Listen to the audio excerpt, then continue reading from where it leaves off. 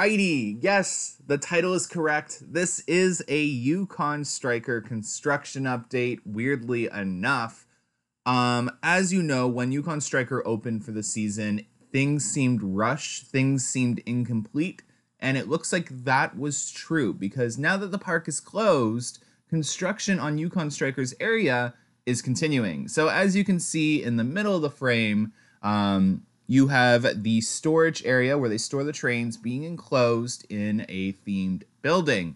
Um, close-up shots also show similar structures to the top of the station um, roof, those little design kind of window chimney things being added to the top of the storage building as well.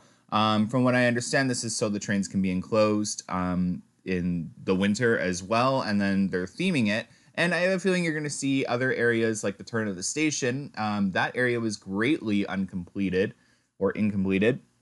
So I have a feeling we'll see that area kind of like finished up as well for next year. And the cliff jumping that is coming to Canada's Wonderland, nothing new has taken place over there. The fencing's just been removed.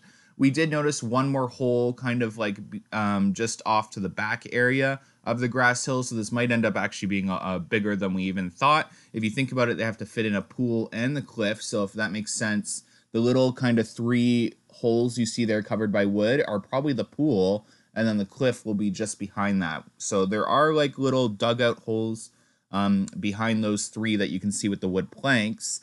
Um, and yeah, nothing going on with Mine Buster. I don't think you're going to see anything going on with Mine Buster. Now, from what I understand and what I've seen from driving on what's that street called? Major Mackenzie. Uh, we've seen some weird activity going on with Wild Beast. It looks like they might be retracking some of Wild Beast again, um, but no retracking of Minebuster or retracking going on on Minebuster area yet. No signs of anything on Minebuster. Just this weird big dirt hill that they've built um, next to Minebuster. Again, as I talked about in my previous video, it looks like Splashworks is now on a strong chokehold. It's got no land to expand in except for the forest and Minebuster's plot of land. And then, I mean, if you really wanted to do it, you have Whitewater Canyon's forest and plot you could bulldoze and turn into a water park expansion.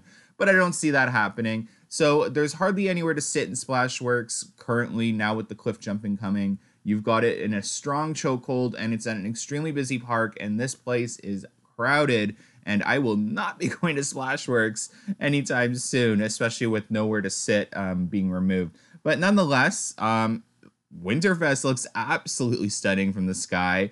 Um, I did notice a themed area in between the lift hill of Vortex and the drop on Vortex, so it looks like there's a little midway there for Winterfest that looks really cool. But nonetheless, hope you enjoyed this quick construction update on Yukon Striker, as weird as that sounds. Don't forget to give the video a like, subscribe if you haven't, and share this video if you guys enjoy. Have a good one, guys. Bye.